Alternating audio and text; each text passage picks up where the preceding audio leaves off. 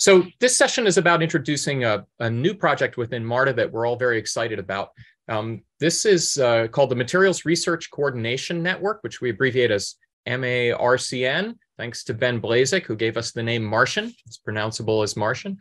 And it's a collaboration across seven institutions.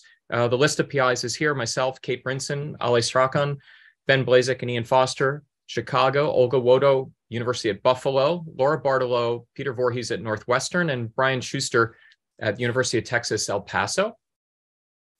And uh, the idea is uh, looking for a way to advance a slide. There we go. Too many screens. There we go. I thought I'd start by explaining just what a research coordination network is. This is an NSF award.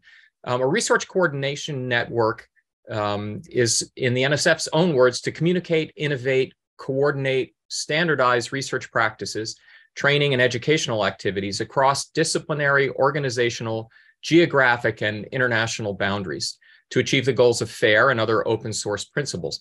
Maybe more simply put, Martian is an NSF commitment then to link FAIR data and related education efforts in major materials research centers, it dovetails really perfectly with MaRDA's community-led approach. It lets us expand our work, building a network, and also focus on connecting and integrating infrastructure uh, that are specifically people to bridge that critical gap between the data and the methods like AI and machine learning and other things we've been hearing about this week.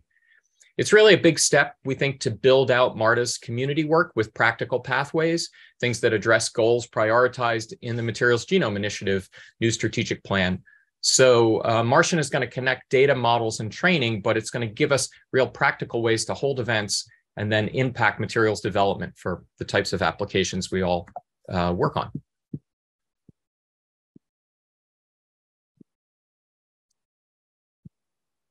There were uh, 10 awards made by the NSF. There are 10 inaugural FAIROS RCNs, FAIR Open Science Research Coordination Networks. Martian is one of them.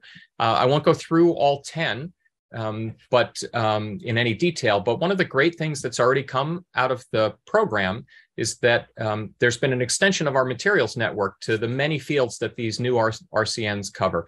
Um, we have a monthly meeting, and you may uh, see some fields that you would anticipate, like high energy physics, the FAIROS HEP, um, or FAIR for ML ready data, to things that might not be so much on the radar of people like us in the materials world, like a humanities commons and educational efforts focused on HBCUs and minority serving institutions. By having the cohort meet every month, the NSF really has been helping us, I think, build connections and bring some new ideas um, for things that are done in fields outside the materials community or even just adjacent to the materials community, which we think can really accelerate our own efforts. Looking in a little more detail at Martian itself, it's built out as um, I said, as sort of our first large scale funded MaRDA initiative. And it connects a lot of efforts and ideas and builds on foundational work from MaRDA and MGI2. Uh, the MGI2 goal that really says that people are infrastructure too, and that we need to unify our innovation infrastructure by building connections in a national materials data network. It's organized to do what the NSF envisioned in its solicitation, which was so in line with what we were already working on. And that's really for us to convene, connect, catalyze, and communicate.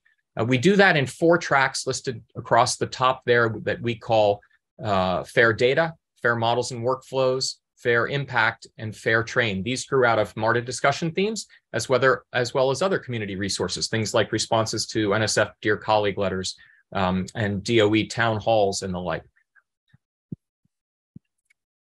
We have built a projected event flow to have a series of uh, both virtual and in-person events hosted by different PIs in the different tracks. This is already outdated, of course, now that we've started the award um, halfway through the year last year or a little bit later in the year. Um, but what I really want to do is have us uh, talk about these tracks in a little more detail. Um, and so I'm going to throw it out to the other PIs um, to give you some specifics. And uh, we'll talk about fair data and then fair train and then fair models in order. So you can see a little bit about what's underway, as well as highlight things that can spur discussion and ideas here for us to maximize the interaction.